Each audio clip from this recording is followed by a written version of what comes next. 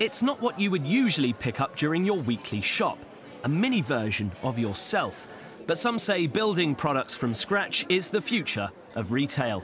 Supermarket chain Asda's offering customers the chance to be scanned and turned into a 3D printed figurine after beginning trials of the service at their York store in northern England.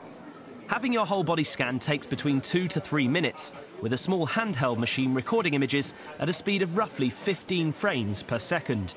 Asda's head of personalisation, Phil Stout, said the machine reads colour as well as geometry. The scanner is that sophisticated that it picks up details such as uh, belt buckles, shoe detail, uh, wedding rings, and um, all the detail of the colour.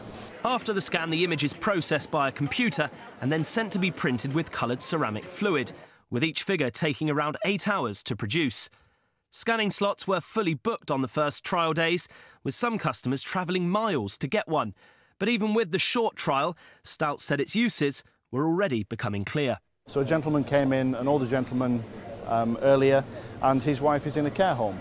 So he doesn't get to see his wife that often. So he wanted to do a scan to give to his wife as a, as a present. So I thought that was very touching. 3D printing is increasingly used in the industrial arena, but Britain's second biggest retailer believes it's the first supermarket to offer this service on a large scale, and relatively cheaply too, at £40 per figure. Asda's retail director Mark Ibbotson said seeing the technology pioneered in the US by Walmart opened his eyes to the possibilities the technology could bring.